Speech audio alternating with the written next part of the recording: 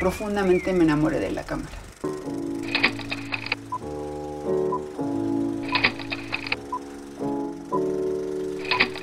Yo quiero que trabajar con esto, con la cámara.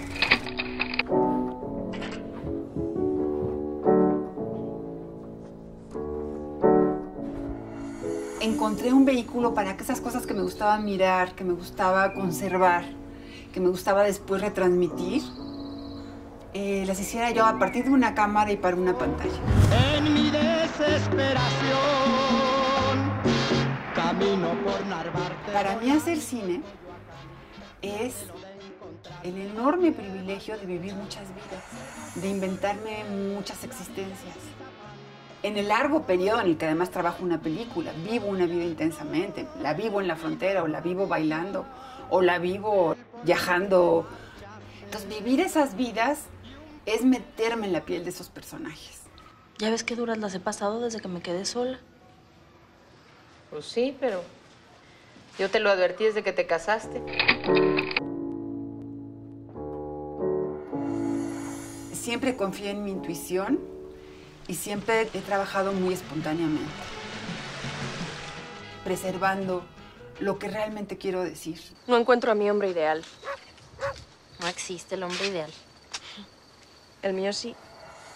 No ha estado en mi naturaleza permitir que esquemas o propósitos eh, determinen las historias que voy a contar.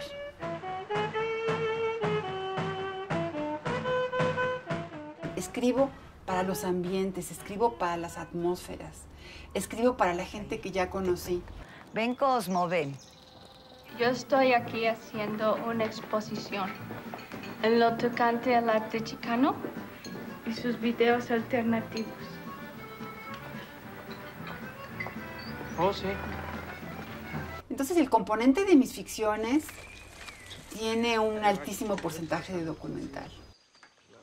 No altero demasiado eh, la realidad al filmar. La reproduzco, la hago funcionar para la historia.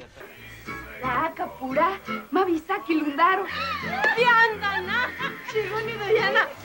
Pero como sí me encanta contar historias, pues encontré como una mezcla de las dos cosas. Y creo que ese es un sello personal desde mi cine más originario. A mí sí me gustaría trabajar en un hotel, pero de dueña.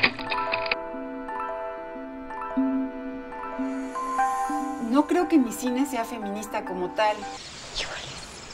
¿Qué dirían Silvia y Tere si me? O no me gusta que lo cataloguen así porque no me gustan las etiquetas. Rompe dicharachos, señala desnudo.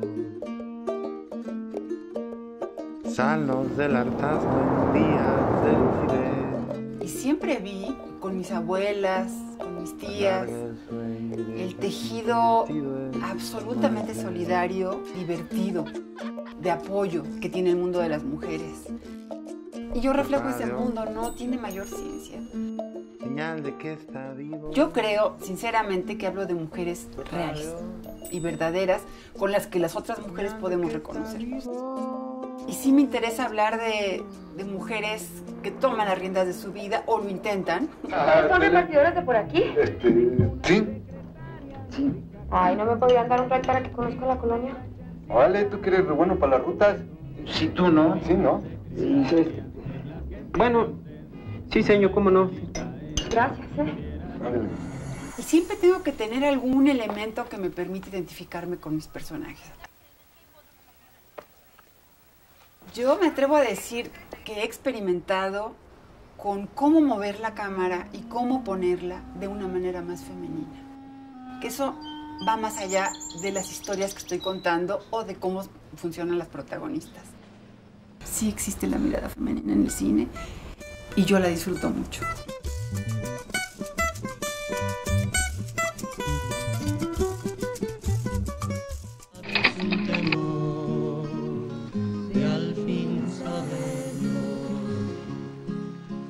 Yo creo que los colores en mis películas es otra cosa que yo descubro, no le invento.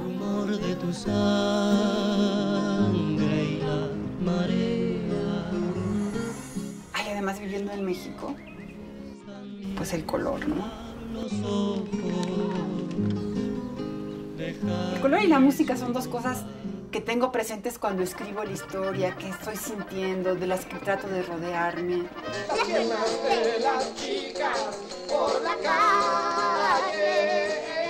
El color y la música son el estado de ánimo, son la emoción que voy a querer transmitir con esa película, son eso, la construcción de las emociones.